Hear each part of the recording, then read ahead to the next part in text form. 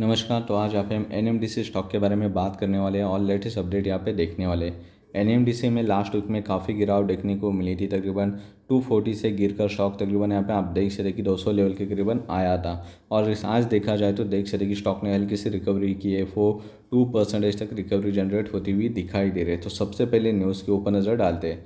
तो न्यूज़ यहाँ पे देखी जाए एनएमडीसी के लिए तो रिसेंटली कोई खास न्यूज़ नहीं है। पर लास्ट वीक में देख सकते कि स्टॉक ने जो ब्लू ऑरेंज कलर की लाइन है फिफ्टी मूविंग है उसको ब्रेक किया, जो कि एक सपोर्टिव लेवल है स्टॉक के लिए। उसको ब्रेक करने के बाद स्टॉक में गिरावट तो हो चुकी थी।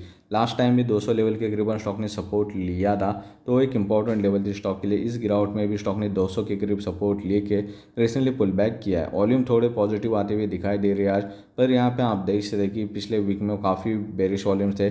जैसे आज वॉल्यूम आए कंटिन्यूस दो तीन दिन और इससे वॉल्यूम्स बढ़ते हुए दिखाई दे रहे तो स्टॉक की रिकवरी जनरेट करके 220 के ऊपर भी जा सकता है, पर वॉल्यूम अच्छे क्वांटिटी के साथ चाहे, जो कि एक स्ट्रॉन्ग मोमेंटम जनरेट कर सकें।